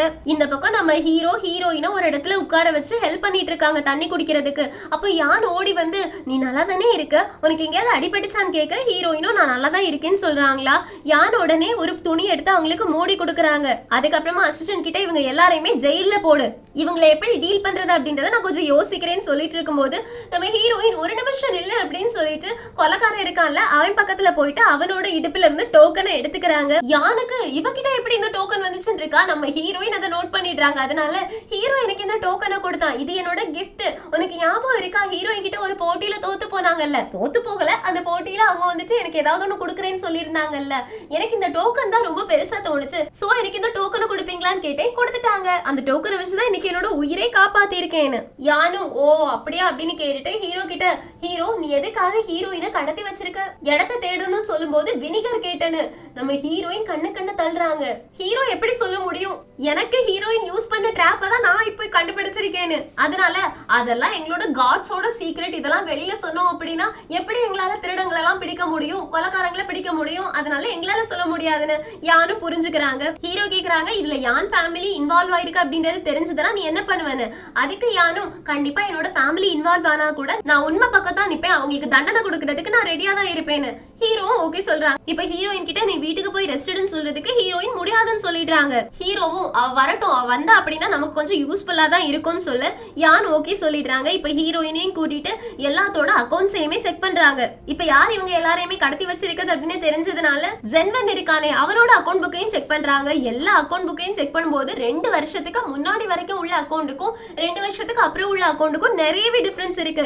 அதை கண்டுபிடிச்சதுனால ஜென்வன் கிட்ட இப்போ உன்னோட குற்றம் எல்லாத்தையும் நீ ஒத்துக்கிறியா அப்படின்னு கேக்குறதுக்கு ஜென்வனும் நான் எதுக்காக ஒத்துக்கணும்? நான் இந்த தப்பும் பண்ணலையே அப்படின்றான். அதனால ஹீரோவும் நீ தப்பு பண்ணல நான் சொல்றேன். இரு விட்னஸ கூப்பிடுறேன் அப்படின்னு விட்னஸ கூப்பிட்டு விட்டு கேக்குறாங்க. ஹீரோயின் ஒரு லேடியை காப்பாத்திருப்பாங்கல்ல அந்த லேடி தான் அவங்க சொல்றாங்க ஆமா எல்லா அகதிகளையுமே இவன் தான் பிடிச்சு வச்சிருக்கான். இவன் பண்ற ஊழல் யாருக்கு தெரிஞ்சிடக்கூடாது அப்படின்றதுக்காக எங்க எல்லாரையுமே இவன் தான் எங்க எல்லாரையுமே அடைச்சு வச்சது அப்படின்னு. சோ உண்மை வெளியில வந்துருச்சா? ஹீரோ கேக்குறாங்க இப்போ எதுக்காக இந்த ஊழலை செஞ்சீங்க? எதுக்காக இந்த பாவப்பட்ட அகதிகளை கொலை பண்ணீங்க? அதுக்கான ரீசன் எனக்கு தெரிஞ்சாகணும்னு. சோ ஜென்வன் உண்மையை சொல்ல ஆரம்பிக்கிறான். என்ன சொல்றான் அப்படின்னா நான்லிங் தான் உள்ளதுலயே ரொம்ப பணக்கார சிட்டி அப்படின்னு தான் எல்லாரும் நினைச்சிட்டு இருக்காங்க. ஆனா ஆக்சுவலி நான்லிங்க்கு பணம் வரதுக்கான முக்கியமான காரணமே ஆயுதங்களை கண்டுபிடிக்கிறதுனால மட்டும் விஷயம் தான். ஸோ எல்லாருக்குமே நான்லிங்னா பணம் நிறைய இருக்கும் அப்படின்னு சொல்லிட்டு இருந்தோம். ஆனா உண்மை என்னன்னா கஜானால ஒத்த பைசா கிடையாது. இருக்கிற காசு எல்லாத்தையுமே செலவழிச்சு செலவழிச்சு காசே இல்லாம ஆயிடுச்சு. ஸோ காசுக்கு என்ன பண்றது அப்படின்னு தெரியாம நாங்க யானோட அங்கிள் கிட்ட போய் கேட்டோம். அப்ப யானோட அங்கிள் தான் அரசருக்கு நம்ம வெப்பன் செஞ்சு கொடுக்கணும் இல்ல அதுல கொஞ்சம் காம்ப்ரமைஸ் பண்ணிட்டு அதுல இருந்து காசு ஆட்டையை போட்டுடலாம் அப்படின்னு வெப்பன்ஸ்ல இருந்து ஆட்டையை போட்டோம். அப்படியே நல்ல வாழையும் ஐய வாளையும் ஒண்ணு சேர்த்து ஒன்னு சேர்த்து நீங்க கண்டுபிடிச்சுக்கிட மாட்டீங்க அப்படின்னு அனுப்பி வச்சோம். ஆனா நீங்க கண்டுபிடிச்சிட்டீங்க. சோ இந்த பழி எல்லாத்தையும் யார் மேலேயாச்சும் தூக்கி போடணும்ல அதுக்காக தான் இந்த அகதிகளா வந்திருக்கவங்க எல்லாரையுமே இவங்க தான் அந்த வாழை உருவாக்குனாங்க அப்படின்னு அவங்க மேல பழிய போட்டு கேஸ முடிக்கலாம்னு நினைச்சோம். அதுக்குள்ள நீங்க அந்த கேஸையுமே சால்வ் பண்ணிட்டீங்க. சோ இது எல்லாமே காசுக்காக தான் நடந்துச்சு கரப்ஷனுக்காக தான் நடந்துச்சு. எல்லாத்தையுமே பண்ணது யாரோட அங்கிள் தான் அப்படின்னு மொத்தமா போட்டு உடைச்சிட்டாங்க. சோ இந்த கேஸ் முடிஞ்சு போச்சு. எல்லாரும் இப்ப கோர்ட்டை விட்டு வெளியில போகும்போது ஜிமிங் வராங்க. நம்ம ஹீரோயினும் இவங்கள செக் பண்ணுங்க. இவங்களுக்கு மெடிசன் உதவி தேவைன்னு ஜிமிங்கும் செக் பண்ணிட்டு இவங்களோட உடம்பு ரொம்ப மோசம் இருக்குது அப்படின்னு சொல்ல ஹீரோயின் யான் கிட்ட கேக்குறாங்க நான் இவங்கள என்னோட வீட்டை கூட்டிட்டு போகவா? என்னோட ரூம்ல வச்சுக்கவான்னு. யானும் அதுக்கு பெர்மிஷன் கொடுத்துட்டாங்க ஸோ ஹீரோயினுக்கு பெர்மிஷன் கிடைச்சிருச்சு. அந்த லேடியை அவங்களோட ரூம்ல வச்சு ட்ரீட்மெண்ட் பாக்குறதுக்கானது அதுக்கப்புறமா யான் ஹீரோவை திரும்பி பார்த்து மூணு நாள் எனக்கு டைம் கொடு இங்க என்ன நடக்குது? அப்படின்னு எல்லாத்தையுமே கண்டுபிடிச்சு நான் உனக்கு ரிப்போர்ட் பண்றேன்னு. ஹீரோவும் ஓகே அப்படின்னு மூணு நாள் டைம் கொடுக்குறாங்க. இந்த பக்கம் யான் வண்டியில போயிட்டு இருக்கும்போது அசிஸ்டன்ட் நீங்க இப்ப என்ன பண்ண போறீங்க? உங்களோட ஃபேமிலி மெம்பர் மேலதான் பழி வந்திருக்குன்னு. யானும் அவங்க தப்பு பண்ணாங்க அப்படின்றதுக்காக நான் இப்ப விட்டுட்டேன்னா என்னோட குறிக்கோள் என்னவோ அதை என்னால நிரூபிக்க முடியாம போயிடும். அதனால இவங்க எல்லாரும் பண்ண தப்ப கண்டுபிடிக்கிறதுக்கு எனக்கு இருக்கக்கூடியது ஒரே ஒரு வழிதான். என்னோட எல்லா அங்கிள்ஸையுமே சேர்த்து கூப்பிட்டு ஒரு பார்ட்டி வைக்க போறோம்னு சொல்லுன்னு. சோ அங்கிள்ஸ் எல்லாத்தையுமே கூப்பிடுறாங்க. எல்லாருமே சேர்ந்து குடிக்க இருக்கும்போது யான் சொல்றாங்க? எல்லா அங்கிளுமே என்ன மன்னிக்கணும்? உங்க எல்லாரையுமே இந்த பிரச்சனையில நான் மாட்ட விட்டதுக்கு ரொம்பவே ஃபீல் பண்றேன். ஹீரோ கிட்ட இருந்து உங்க எல்லாரையுமே கண்டிப்பா நான் காப்பாத்துவேன். நான் உங்களுக்கு ப்ராமிஸ் பண்ணி கொடுக்குறேன். இந்த பிரச்சனையில இருந்து எப்படியாவது உங்களை காப்பாத்திடுவேன். ஆனா இன்னைக்கு நம்ம எல்லாரும் சேர்ந்து குடிக்கலாம் அப்படின்னு எல்லாருமே சேர்ந்து குடிக்க ஆரம்பிக்கிறாங்க. ஆனா அங்கிளுக்கு யான் மேல ஏதோ ஒரு டவுட் இருக்கு. அதனால கம்மியா தான் குடிக்கிறாங்க. ஆனா யான் நல்லா குடிச்சு போதை ஆயிடுறாங்க. அந்த போதையிலே வளர ஆரம்பிக்கிறாங்க. அப்பா நான் தோத்து போயிட்டேன்ப்பா தோத்து போயிட்டேன்ப்பான்னு அங்கிளும் என்னடா தோத்து போன? என்ன புலம்பிட்டு இருக்கன்னு அதுக்கு யான் சொல்றாங்க? ஆக்சுவலி நான் ரிசைன் பண்ணல ஏன்டா ரிசைன் பண்ணேன் இப்போ ஃபீல் பண்ற மாதிரி ஆயிடுச்சு. அரசருக்கு யான் ஃபேமிலில இருந்து நிறைய கரப்ஷன் நடந்திருக்கு அப்படின்ற விஷயம் தெரிஞ்சிடுச்சு. ஆனாலும் அரசருக்கு யான் ஃபேமிலி தான் அவங்க பக்கத்துல இருக்கணும்னு ஆசை.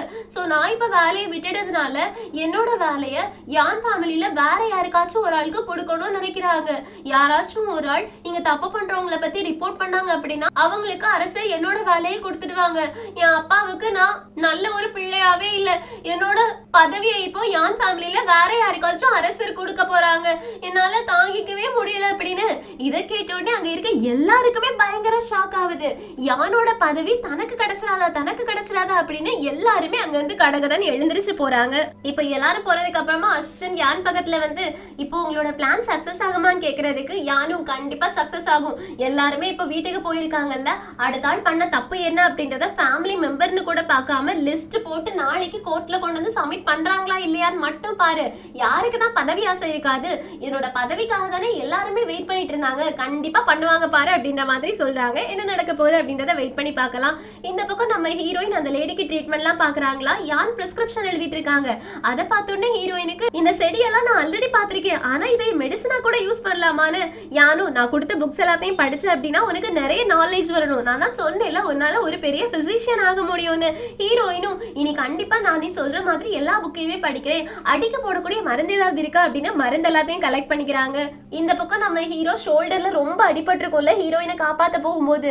அதனால ஷோல்டர் அங்க எங்க நசிச்சுட்டு இருக்காங்களா நம்ம ஹீரோயின் வந்துடுறாங்க. ஹீரோவும் நீங்க என்ன பண்ற? அப்படின்னு கேட்க ஹீரோயினும் நீ என்ன காப்பாத்தும் போது உனக்கு அடிபட்டுச்சுல அதனால மருந்து கொண்டு வந்திருக்கேன்னு ஹீரோ கிட்ட கொடுத்துட்டு ஹீரோ வாங்க சொல்றாங்களா.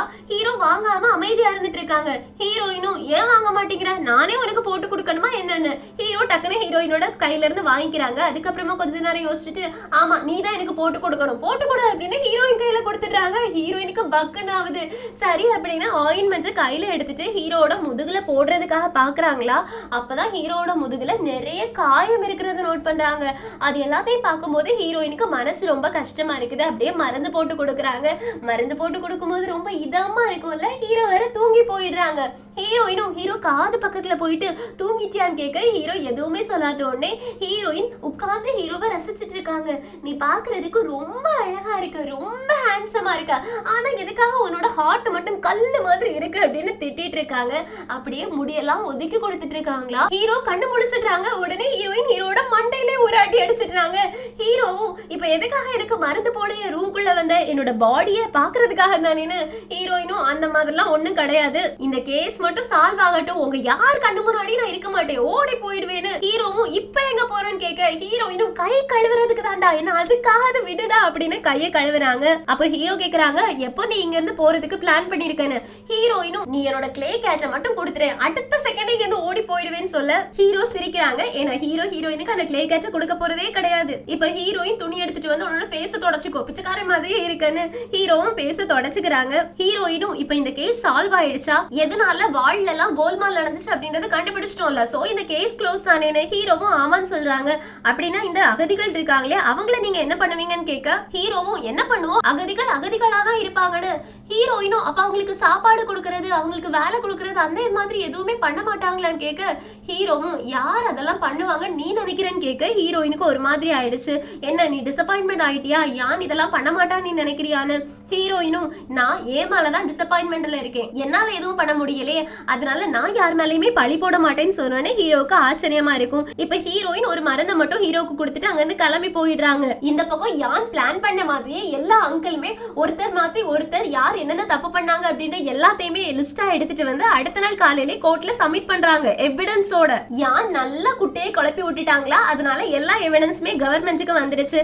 இப்ப ஹீரோ அது எல்லாத்தையுமே பார்த்துட்டு யான் ஃபேமிலியில இவ்வளோ பிரச்சனைகள் இருக்கான்னு கேட்க யானும் நீ எதுக்கும் கவலைப்படாத. நீ என்ன பனிஷ்மெண்ட் கொடுத்தாலுமே அவங்களுக்கு அது கரெக்டா போய் சேரும். நான் யாருக்குமே பார்ஷியாலிட்டி பார்க்க மாட்டேன். என்னோட ஃபேமிலியா இருந்தா கூட தப்பு பண்ணா தப்பு பண்ணதானு ஹீரோவும் அப்படின்னா நீ அவங்க எல்லாரையுமே அரெஸ்ட் பண்ண போறியான்னு கேக்குறதுக்கு யானும் ஆமான்னு சொல்லிடுறாங்க. இது எல்லாத்தையுமே பேசி முடிச்சுட்டு வீட்டுக்கு கிளம்பும் போது அங்கிளுக்கு தெரிஞ்சிருச்சு யான் நம்மள அரெஸ்ட் பண்ண போறான்னு. அதனால யான் அடிக்கிறதுக்காக கையை ஓங்குறாங்க. ஆனா யான் பிடிச்சிடுறாங்க. இது எல்லாத்தையுமே நம்ம ஹீரோயின் தள்ளி இருந்து பார்த்துட்டு இருக்காங்க. அங்கிள் சொல்றாங்க என்னோட தம்பி இறந்தப்பவே உன்னையும் உன்னோட அம்மாவையும் நான் இங்கேருந்து விரட்டி விட்டு இருந்திருக்கணும் ஆனா அதையும் மீறி உங்களை எங்களோட சேர்த்துக்கிட்டோம் பாத்தியா? அது நாங்க பண்ண தப்பு. அதுக்காக தான் எங்களுக்கு இப்போ நீ இந்த மாதிரி ஒரு தண்டனை கொடுத்துருக்கியா? உனக்கு மனசாட்சியே இல்லையா? நன்றியே இல்லையா அப்படின்னு?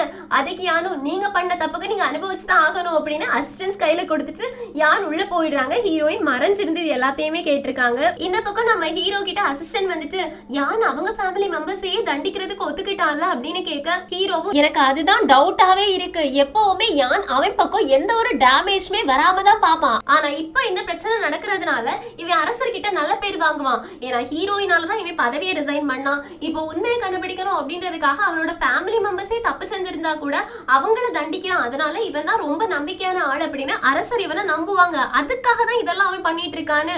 அசிஸ்டனும் நானும் இவன் நல்லவே நினைச்சேன் ஆனா இதெல்லாம் மனசுல வச்சுட்டு தான் இதெல்லாம் பண்ணிட்டு இருக்கானான்னு ஹீரோவும் எனக்கு என்னமோ இந்த கேஸ் கரப்ஷன்ல மட்டும் முடியிற மாதிரி தெரியல. இதுக்கு பின்னாடி வேற ஏதோ ஒன்று இருக்கு. ஏதோ ஒண்ணு நாண்டிங்ல இருந்து எல்லாரும் மறைக்க ட்ரை பண்றாங்க அப்படின்னு ஹீரோவுக்கு இன்னுமே டவுட் போகல. இந்த இடத்துல வேற விஷயமும் இருக்கு அப்படின்னு யோசிக்கிறாங்க. இந்த பக்கம் யான் அவங்க அங்கிள் அவங்களுக்கு செஞ்ச எல்லாத்தையுமே யோசிச்சு பாக்குறாங்க. யான் சின்ன பிள்ளையா இருக்கும் போது அவங்க அப்பா இறந்து போனப்போ யானும் அவங்க அம்மாவும் வீட்டு முன்னாடி வந்து கெஞ்சும் போது யானோட அங்கிள் வந்துட்டு நீங்க உள்ள இருக்கிறதுக்கு நான் ஓகே சொல்றேன். ஆனா அமைதியா எல்லார மாதிரியுமே இருக்கணும். உங்களுக்குன்னு ஒரு அதிகாரமே தரப்பட மாட்டாதுன்னு. ஆனா யானோட அம்மா இப்போ இவங்க எல்லாரையுமே ஞாபகம் வச்சுக்கோ. இவங்க எல்லாரும் நம்ம எவ்வளவு கேவலமா பேசி நடத்தியிருக்காங்களோ இதே மாதிரி நீ வளர்ந்து ஸ்ட்ராங் ஆகி இவங்கள நடத்தணும் அப்படின்னு. ஸோ யானோட அம்மாவோட ஆசை இப்போ நிறைவேறிடுச்சுன்னு யான் ஹாப்பியாக இருக்காங்க. அப்ப நம்ம ஹீரோயின் வராங்களா? யானும் ஐம்ச சாரி நேத்தையில இருந்தே உன்னை ஒழுங்கா கவனிக்க முடியலைன்னு. அதுக்கு ஹீரோயினும் அதெல்லாம் இருக்கட்டும். பசியால அகதிகள் கஷ்டப்பட்டுட்டு இருக்காங்க. அவங்களுக்கு சாப்பாடு ஏற்பாடு பண்ணணும்னு.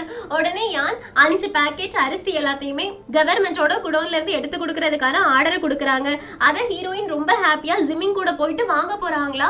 ரெண்டே ரெண்டு அரிசி மட்டும் தான் கொடுக்குறாங்க. ஹீரோயினும் சிமிங்கும் அஞ்சு மூடை எழுதி இருந்தில்ல நீங்க இதுக்காக ரெண்டு மூடை மட்டும் கொடுக்குறீங்க. மீதி மூணு மூடையே கொடுங்க அப்படின்னு சண்டை போடும்போது அவனுங்க கொடுக்கவே மாட்டேங்கிறானுங்க. இதுக்கு மேல நீ ஏதாவது பேசினு வச்சுக்கோ என் கழுத்து அறுத்துருவேன். போடி அப்படின்னு துரத்தி விட்டுடுறாங்க. சோ இவங்க சண்டை போடாம அங்க இருந்து வந்தாச்சு. ஹீரோயினுக்கு தெரியும் அகதிகளுக்கு சாப்பாடு பத்தாதுன்னு. அதனால சாப்பாடு எடுக்கிறதுக்காக ஆத்தங்கரைக்கு போறாங்க. அங்க இருக்கக்கூடிய பாசி செடி அதெல்லாம் இருக்கும்ல அதை வச்சு சாப்பாடு செஞ்சு கொடுக்கலான்னு.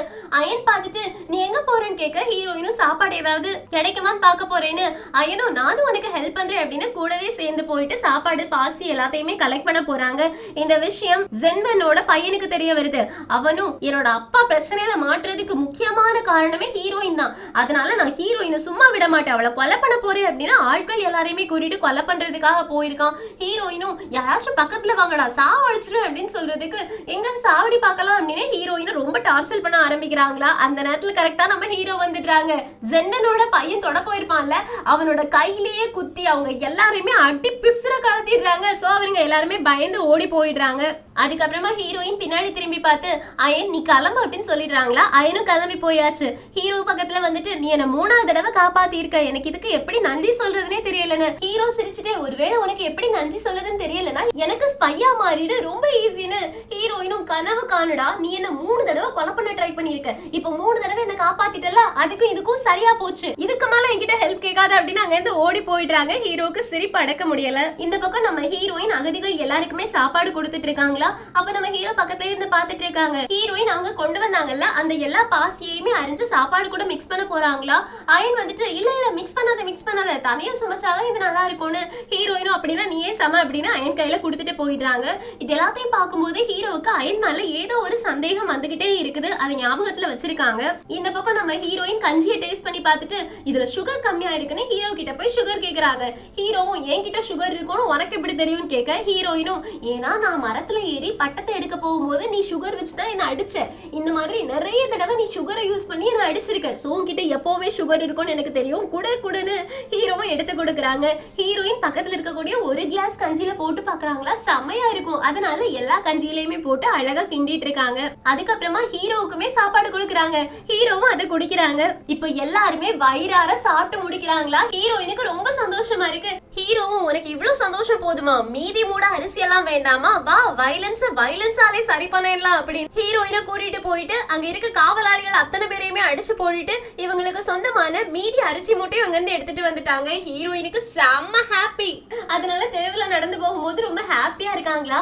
ஹீரோ கேக்குறாங்க எப்பத்துல இருந்து உனக்கு ஏன் மேல இருக்கக்கூடிய பயம் போச்சு? ஏன் முன்னாடியே ஆடி தெரிஞ்சிட்டு இருக்கானு ஹீரோயினும் ரொம்ப நாள் முன்னாடியே போயிடுச்சு. வா வா அப்படின்னு ஒரு கடைக்கு கூட்டிட்டு போயிட்டு சுகரால செஞ்ச கேட்ச் பொம்மை இருக்கும் அதை எடுத்து ஹீரோக்கு நீ எனக்கு ஹெல்ப் பண்ணிருக்கல அதுக்கு தேங்க்ஸ் சொல்றதுக்காக உனக்கு இந்த கிஃப்ட்டை நான் கொடுக்குறேன்னு. ஹீரோ கண்ணசைக்காம ஹீரோயினே பார்த்துட்டு இருக்காங்க. அப்ப நிறைய பூ வந்து ஹீரோயினோட மண்டையில விழுதா?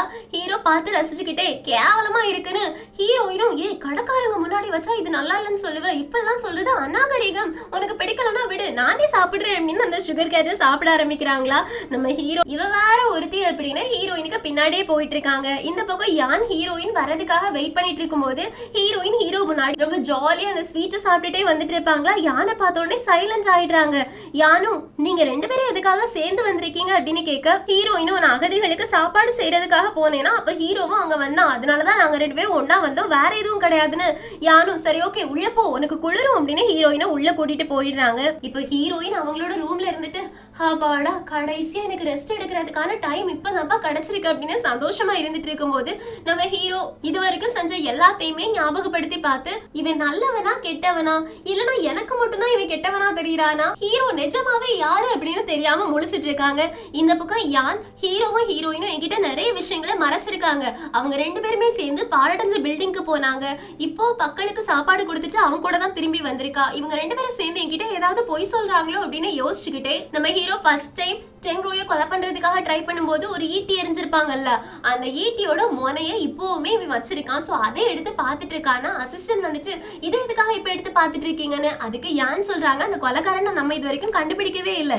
செங்க்ரூயோட கேஸ் முடிஞ்சதுக்கு அப்புறமா அவன் இன்னும் வெளியில வரவே இல்லை. ஸோ அவன் எங்க இருந்தாலுமே அவனை கண்டுபிடிக்க வேண்டியது நம்மளோட கடமை இல்லை. நம்ம அதை மறந்துடக்கூடாதுல. அந்த கொலக்காரனை கண்டுபிடிச்சே ஆகணும். அதுக்கான க்ளூ இது மட்டும் தான் அப்படின்னு அதை பார்த்துட்டு இருக்காங்க இப்போ அசிஸ்டன்டும் சரி அதெல்லாம் இருக்கட்டும். உங்களோட அங்கிள் மேல இருக்கக்கூடிய கேஸ் இப்போ ப்ரூவ் ஆயிடுச்சு. ஸோ உங்களோட அங்கிளை என்ன பண்றதுன்னு? யானும் பனிஷ்மெண்ட் கொடுங்க. மக்கள் முன்னாடி சிறையில வச்சு கூறி கூட்டிட்டு வாங்க அப்படின்னு. ஸோ அடுத்த நாள் காலையிலேயே தப்பு பண்ணவங்கள மக்கள் முன்னாடி கூட்டிட்டு வரோம் அப்படின்னு சிறையில வச்சு ஊரை சுத்தி கூட்டிட்டு வராங்க. ஆக்சுவலி இப்படிதான் பனிஷ்மெண்ட் கொடுப்பாங்களா? அப்போ ஊர் மக்கள் எல்லாருமே கையில கிடைக்கிற முட்டை அது இது எல்லாத்தையும் எரிஞ்சு குற்றம் செஞ்சவங்கள கேவலப்படுத்துவாங்க. அந்த மாதிரி செஞ்சுட்டு இருக்கும்போது நம்ம ஹீரோயின் நடுவில் புகுந்து அந்த முட்டை எல்லாத்தையும் வேஸ்ட் பண்ணாதீங்க. இந்த கூடையில போடுங்க அப்படின்னு சொல்றதும் காய்கறிகளை தூக்கி வீசி இருப்பாங்கல்ல அது எல்லாத்தையும் எடுத்து ஒரு பேக்ல போடுறதுமா இருக்கு. இது எல்லாத்தையும் பார்க்கும்போது ஹீரோக்கும் யானுக்கும் வித்தியாசமா இருக்கும். நம்ம ஹீரோ சிரிக்கிறாங்க. இந்த பக்கம் நம்ம ஹீரோ என்ன பண்ணியிருந்திருப்பாங்க தெரியுமா? அந்த முட்டை எல்லாத்தையும் எடுத்துட்டு வந்து அகதிகளுக்கு சாப்பாடா போட்டிருப்பாங்க. காய்கறிகள் எல்லாத்தையும் கொண்டு வந்து சமைச்சு எல்லாருக்கும் சாப்பாடா போட்டிருப்பாங்க. ஐயனும் ஹீரோயின் நீ நிஜமாவே சூப்பர் தான் இந்த மாதிரிலாம் இதை யூஸ் பண்றேன்னு ஹீரோயினும் ஆமா வேஸ்டா போறது எதுக்காக விடணும்? நம்ம எடுத்ததை யூஸ் பண்ணலாமே அப்படின்ற மாதிரி ஜாலியா இருந்துட்டு இருக்கும்போது அங்க யான் வராங்க? அவங்க நிறைய போர்வை அது இதுன்னு கொண்டு வந்த உடனே எல்லாருக்குமே ரொம்ப ஹாப்பி ஆயிரும். எல்லா அகதிகளுமே யானுக்கு தேங்க்யூ சொல்றாங்க. இப்ப யான் ஒரு இடத்துல உட்கார்ந்துருக்காங்களா? ஹீரோயின் கஞ்சி கொண்டு போய் கொடுத்துச்சு இதுதான் அகதிகளுக்காக செஞ்ச கஞ்சி நீயும் குடிச்சு பாருன்னு. யானும் நீ ரொம்ப என்ஜாய் பண்றியோ இவங்க கூட ஹெல்ப் பண்ணும்போதுன்னு. ஹீரோயினும் ஆமா எனக்கு ரொம்ப சந்தோஷமா இருக்கு. ஹீரோவுமே எனக்கு இவங்களுக்கு சாப்பாடு செய்யறதுக்காக ஹெல்ப் பண்ணானு. யானும் இப்பெல்லாம் உனக்கு அவனை பார்த்தா பயமா இல்லையா? உனக்கு அவனை பார்த்தா முன்னாடி எல்லாம் ரொம்ப பயமா இருக்குமேன்னு. ஹீரோயினும் இப்பெல்லாம் எனக்கு அவனை பார்த்தா பயமா கிடையாது. நீங்க அந்த மாதிரிலாம் இனி யோசிக்காதீங்கன்னு. யானும் சரி இப்ப பிரச்சனை எல்லாமே முடிஞ்சிருச்சுல நீ உன்னோட வீட்டுக்கு போக ஆசைப்படுறியான்னு. ஹீரோயினும் இதை தானடா நான் முன்னாடியே கேட்டுட்டு இருந்தேன் அப்படின்னா ஆமான்னு சொல்லிடுறாங்க. யானும் அப்படின்னா சரி நானும் உன் கூட வரேன்னு உடனே ஹீரோயின் அமைதி ஆயிடுறாங்களா யானும் என்ன விஷயம்னு கேட்க ஹீரோயின் சொல்றாங்க நான் வீட்டை விட்டு வெளியில வரும்போது எவ்வளோ சந்தோஷமா இந்த உலகத்தை ஃப்ரீயா சுத்தி பார்க்கறதுக்காக வந்தேன். ஆனா சில பல பிரச்சனைகள்ல மாட்டினதுனால இப்ப நான் உனக்கு வேலைக்காரியா இருக்கேன் இப்ப நீ என் கூட வந்தேன்னு வச்சுக்கோ நீ என்னோட முதலாளியா தான் வருவ. என்னோட ஃபேமிலிக்கு நான் ஒருத்தவங்களுக்கு கீழே வேலை செய்யறது பிடிக்கவே பிடிக்காது. நான் ஃப்ரீயா இருக்கணும் தான் நினைப்பாங்க. சோ உன்னை பார்த்தாங்க அப்படின்னா அவங்களுக்கு பிடிக்காது. அதனால நீ என் கூட வரதா இருந்தா என் ஃபேமிலியை பாக்குறதுக்கே நான் போகல அப்படின்னு எழுந்திரிச்சு போயிடுறாங்களா? யானைக்கும் ஒரு மாதிரி ஆயிடும். அதனால ஹீரோயின் கிட்ட சொல்லாம அங்கிருந்து கிளம்பி போயிடுறாங்க. இப்ப ஹீரோயின் யான் குடிச்ச கஞ்சியை பாக்குறாங்க. யானை தான் தொட்டு கூட பாத்திருக்க மாட்டாங்க. திமிரு குடிச்சவன் அப்படின்னு சொல்லிட்டு அந்த கஞ்சியை போய் குடிச்சிட்டு நிக்கிறாங்களா? அப்போ அயன் வந்துட்டு அதுக்குள்ள யான் கிளம்பிட்டாங்களான்னு கேட்க ஹீரோயினும் ஆமா என்னாச்சு? என்ன விஷயம்? அப்படின்னு கேட்க நான் யான் கூட கொஞ்சம் பேசலாமான்னு. ஹீரோயினும் என்ன விஷயம் ஃபர்ஸ்ட் என்கிட்ட சொல்ல. அதுக்கப்புறமா நான் ஏற்பாடு பண்றதை பத்தி யோசிக்கிறேன்னு. சோ அயன் ஹீரோயின் கிட்ட இங்க நம்ம பேசினா சரி வராது. நம்ம ஆத்தங்கரைக்கு போய் பேசலாம். அப்படின்னு ஆத்தங்கரைக்கு கூட்டிட்டு போறாங்க. இந்த பக்கம் நம்ம ஹீரோ பிரெட் சாப்பிடுறதுக்காக வந்திருக்காங்களா? அப்போ அன்னைக்கு நான் சாப்பிட்ட டேஸ்ட் இன்னைக்கு இல்லையே அப்படின்னு கேக்குறதுக்கு கடைக்காரங்க சொல்றாங்க. அன்னைக்கு நீ ஒரு பொண்ணு கூட வந்து சாப்பிட்ட. இன்னைக்கு தனியா உட்காந்து சாப்பிடுற. அதனாலதான் உனக்கு பிடிக்கல. அந்த பொண்ணை நீ மிஸ் பண்றியா இருக்கும் அப்படின்னு ஹீரோயினை சொல்றாங்க. ஹீரோ ஆ சரி சரி போங்க போங்க அப்படின்னு அமைதியா உட்காந்து சாப்பிட்டுட்டு இருக்கும்போது அசிஸ்டன்ட் வராங்க. ஹீரோவும் என்ன விஷயம் அப்படின்னு கேக்குறதுக்கு அசிஸ்டன்ட் சொல்றாங்க. ஜூ ஃபேமிலியோட ஒய்ஃபையும் பையனையும் கண்டுபிடிக்க சொல்லியிருந்தல்ல. நான் அவங்கள பத்தி சர்ச் பண்ணி போகும்போது ஜூவோட ஒய்ஃப் ஆல்ரெடி இறந்து போயிட்டாங்களாம் ஜூவோட பையன் ரெண்டு மாசத்துக்கு முன்னாடி ஆயுத கடங்களை தீப்பிடிச்சதுல இறந்து போயிட்டானா? அவனோட நேம் ஷென்னு இதை கேட்ட உடனே ஹீரோக்கு ஷாக்கிங்கா இருக்கு. இருந்த ஒரு குளோவும் முடிஞ்சு போயிடுச்சா? அவன் நெருப்புல எரிஞ்சு இறஞ்சு போயிட்டானா?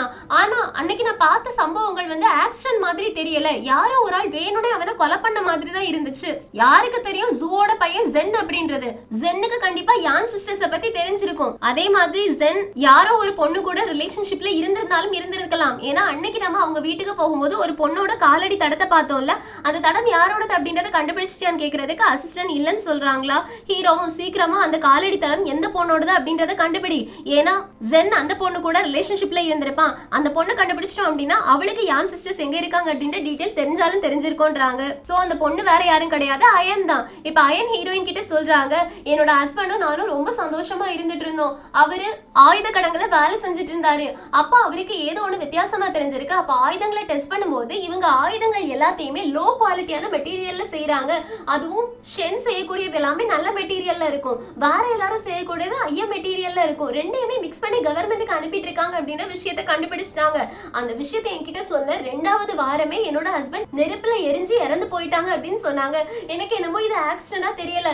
யாரோ பிளான் பண்ணி தான் என்னோட ஹஸ்பண்டை கொலை பண்ணிருக்காங்க இந்த விஷயம் எனக்கு தெரியும் அப்படின்ற விஷயம் தெரிஞ்சதுன்னா என்னையும் கொலை பண்ணிடுவாங்க அப்படின்றதுக்காக தான் நான் அமைதியா இருக்கேன் என்னோட ஹஸ்பண்டுக்கு கண்டிப்பா ஒரு ஜஸ்டிஸ் வேணும். அதனால என்னை யான் கிட்ட கூட்டிட்டு போ அவனோட ஃபேமிலி மெம்பர்ஸ் தப்பு செய்யும் போதே அவங்கள தண்டிச்சாங்கல்ல. அதனால என்னோட ஹஸ்பண்டை யார் கொலை பண்ணிருப்பாங்களோ அவங்களை கண்டுபிடிக்கிறதுக்காக யான் கண்டிப்பாக ஹெல்ப் பண்ணுவாங்க? அவங்க கிட்ட என்ன கூட்டிட்டு போறியான்னு? ஹீரோ உனக்கிட்ட ஏதாவது எவிடன்ஸ் இருக்கா? அந்த ஆயுதங்கள் எல்லாமே மோசமான கண்டிஷன்ல தான் இருக்கு அப்படின்றதுக்கான எவிடன்ஸ் உங்ககிட்ட இருக்கான்னு கேக்குறதுக்கு இருக்கு. ஆனா அதை நான் யான் கிட்ட தான் கொடுப்பேன்? ப்ளீஸ் என்ன கூட்டிட்டு போன்னு சொல்ல. ஹீரோயினும் கூட்டிட்டு போறாங்க. சோ இப்போ யான் கிட்ட அயன் எவிடன்ஸ் கொடுத்தாச்சு? எவிடன்ஸ் என்ன? அயன் கழுத்துல போட்டிருந்தால அதுல ஒரு ரவுண்டா இருக்கும்ல அதை வச்சுதான் மெட்டீரியல் செஞ்சிருப்பாங்க. சோ அதுலயே டிஃப்ரென்ஸ் தெரியும். என்ன குவாலிட்டில அவங்க யூஸ் பண்ணிருக்காங்க அப்படின்றது. சோ இந்த கேஸை நான் எப்படியாவது சால்வ் பண்ணுவேன். உன்னோட ஹஸ்பண்டை யார் கொலை பண்ணாங்களோ அதை நான் கண்டுபிடிச்சு சொல்லுவேன். அது மட்டும் இல்லாம ஆயுதங்கள்லயே ரெண்டு மூணு வெரைட்டி இருந்திருக்கு அப்படின்றது இப்பதான் தெரியுது. நான் கேஸ் க்ளோஸ் ஆயிடுச்சுன்னு நினைச்சேன். ஆனா உண்மையாவே கேஸ் க்ளோஸ் ஆன மாதிரி தெரியல அப்படின்னு மறுபடியும் இந்த ஆயுதங்களோட கேஸை ரீஇன்வெஸ்டிகேஷன் பண்ணணும் அப்படின்னு முடிவு பண்றாங்க. இந்த பக்கம் நம்ம ஹீரோ அசிஸ்டன்ட் கிட்ட ஃபுட் பிரிண்ட் யாரோடதுன்னு கண்டுபிடிச்சிட்டியான்னு கேக்குறதுக்கு அயனோட தான் சொல்றாங்களா ஹீரோவும் அப்படின்னா கரெக்டான ஆளை தான் நான் கெஸ் பண்ணிருக்கேன் அயன் அன்னைக்கே சாப்பாடை மிக்ஸ் பண்ணாம தான் நான் சமைப்பேன் அப்படின்னு ஹீரோயின் கிட்ட சொல்லிட்டு இருந்தா. அன்னைக்கு எனக்கு டவுட் வந்துச்சு. ஏன்னா அரண்மனையில வேலை பார்க்கறவங்க மட்டும்தான் சாப்பாடை மிக்ஸ் பண்ணாம சமைப்பாங்க. அந்த பழக்கம் ஜென்னோட ஒய்ஃபுக்கு வந்திருக்கும். ஜென்னோட ஒய்ஃப் அவங்க பையனுக்கு சொல்லி கொடுத்துருப்பாங்க ஷென் அந்த பையன் அவங்களோட ஒய்ஃபா வர போறவங்களுக்கு சொல்லி கொடுத்துருப்பாங்க. அப்படின்னா அயன் தான் இப்ப நமக்கு இருக்கக்கூடிய ஒரே ஒரு கீ கார்டு அவளுக்கு தான் யான் சிஸ்டர்ஸ் எங்க இருக்காங்க அப்படிங்கறது தெரியும் அப்படின்னு பேசிட்டு இருக்கும் போதே ஹீரோயினும் அயனும் வராங்க. ஹீரோவும் என்ன விஷயம்? எதுக்காக அயன் இங்க வந்திருக்கா அப்படின்னு கேக்குறதுக்கு ஹீரோயினும் சொல்ல முடியாது. போடா அப்படின்னு அங்க கிளம்பி போயிடுறாங்களா? ஹீரோவும் கொழுப்பு பிடிச்சவ திமிரு பிடிச்சவ அப்படின்னு யான் கிட்ட போய் கேக்குறாங்க. யானும் இந்த விஷயத்தை பத்தி நீ யோசிக்க வேண்டிய அவசியம் கிடையாது. ஒருவேளை முக்கியமான விஷயமா இருந்தேன்னா நான் உனக்கு சொல்றேன் அப்படின்னு அனுப்பிடுறாங்களா?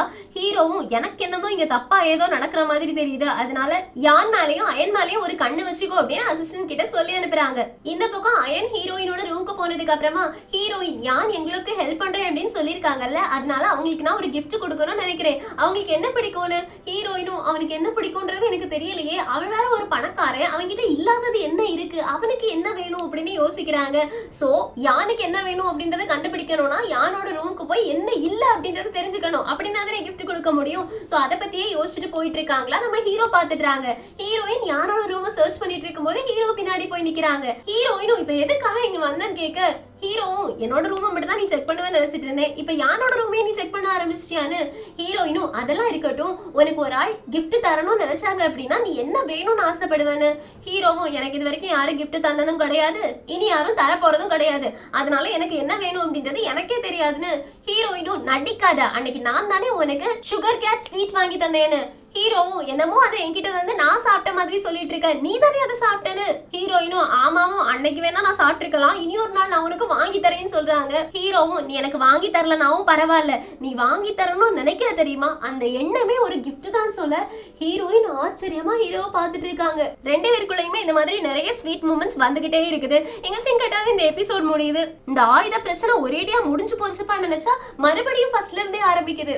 யான் ஹீரோ ஹீரோயின் இவங்க மூணு பேருக்கும் இங்க என்ன நடக்குது அப்படின்றது தெரியல. ஆனா நமக்கு தெரியுமே ஜெனரல் லூக்கு தான் இங்க இருந்து நிறைய ஆயுத சப்ளை எல்லாம் போயிட்டு இருக்கு அதை மறைக்கிறதுக்காக தான் இந்த மாதிரி பசி பட்னி காசு இல்ல அந்த மாதிரி நிறைய டிராமாஸ் நடத்திருக்காங்க அப்படின்னு என்னோட கெஸ்ஸிங்ல இருக்குது. இது எல்லாத்தையுமே நம்ம அடுத்தடுத்த எபிசோட் பார்த்து தான் தெரிஞ்சுக்கணும். நானும் இன்னும் அடுத்த எபிசோட்லாம் பார்க்கல. உங்க கூட சேர்ந்தா நானும் பார்க்க போறேன். சோ இந்த எபிசோட பத்தி நீங்க என்ன நினைக்கிறீங்க? நிறைய ட்விஸ்ட் அண்ட் டர்ன்ஸ் இருந்துச்சுல. ஏன்னா மூணு எபிசோட சேர்த்து ஒரே எபிசோட்ல போட்டிருக்கேன். அதனால தான் இவ்வளோ லேட்டா வேற வீடியோ போடுறேன். சோ யாராச்சும் ரெண்டு எபிசோட் போடுங்கன்னு கேட்காதீங்க. உங்களுக்காக மூணு எபிசோட சேர்த்து ஒரே எபிசோட்ல போட்டிருக்கேன். ஸோ என்ஜாய் பண்ணுங்க. Thank you friends take bye